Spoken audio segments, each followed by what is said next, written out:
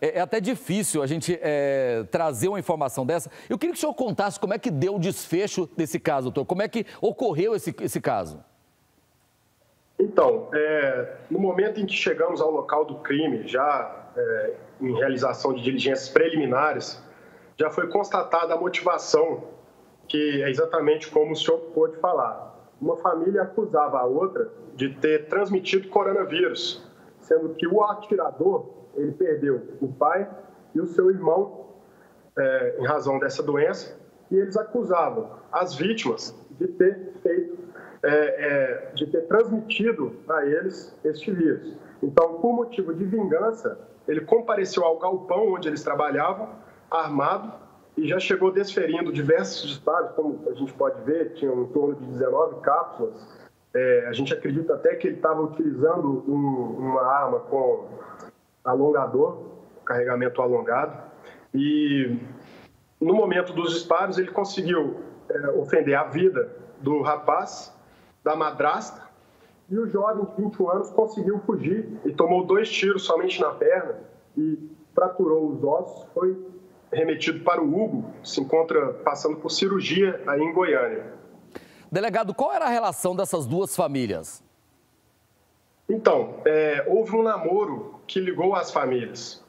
E esse namoro, o rapaz que namorava uma menina da família da vítima, faleceu de coronavírus. Não só esse rapaz, mas o pai dele e sobrou um irmão, que era o atirador.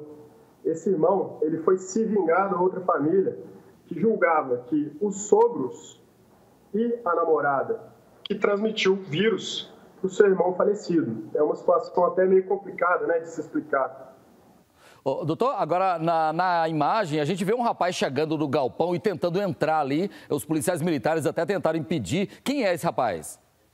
Certo, é, eu estava inclusive presente nesse momento. Esse rapaz ele é irmão da vítima que faleceu no momento em que recebeu os disparos. Ele não teve a oportunidade, inclusive, de ser atendido. E esse rapaz ele chegou extremamente transtornado no local. Ele queria ver o irmão dele ao solo porque ele não acreditava que ele tivesse perdido o seu, o seu familiar. E ele já chegou comentando, inclusive, é, a respeito da motivação. Ele falava de, de, de, por alto, gritando: não, eles não transmitiram vírus, não tem nada a ver. Então, assim, a partir daí a gente já, já, já conseguiu notar, apesar de ser até inacreditável, né, de ser banal a situação, é, que realmente confirma essa linha de investigação. Então, os dois lados aí perderam parentes para a pandemia.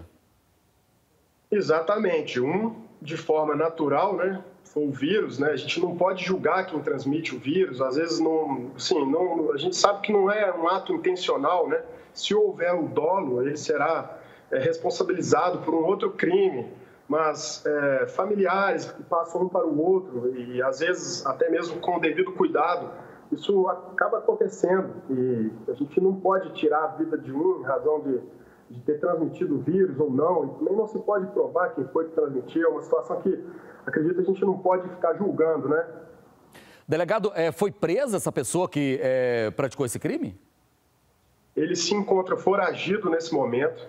A Polícia Civil já reuniu sua equipe. A gente está trabalhando com uma equipe de inteligência no sentido de localizá-lo.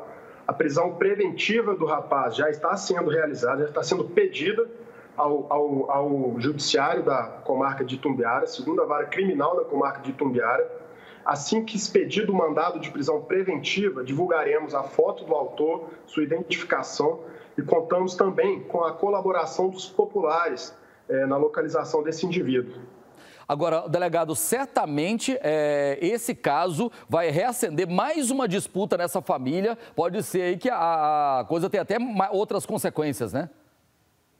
Exatamente. É, uma família se sentiu completamente é, ferida, né? E eles, inclusive, já colhi alguns depoimentos hoje de irmãos da vítima, de, de familiares da, das pessoas que faleceram, e eles pedem, eles pedem para a polícia realizar essa prisão, porque se eles encontrarem com o autor, eles não sabem o que pode acontecer e é aquela situação triste que, que gera um sentimento de ódio nas pessoas, né?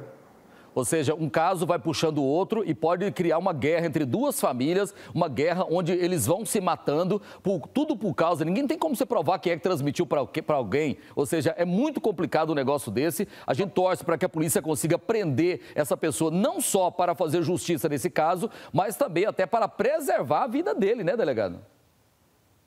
Exatamente. É um apelo aqui que a gente faz, é, se chegar ao conhecimento desse autor dos disparos, é, já sabemos quem é ele, já temos informações suficientes com relação à sua identidade. É, pedimos aqui que ele se apresente, é, podemos aqui negociar qualquer tipo de situação, mas é, para ele seria a melhor forma é, essa apresentação. Ele vai viver foragido, vai ter o seu nome exposto em mídia nacional e não sossegaremos enquanto não realizarmos a prisão dele.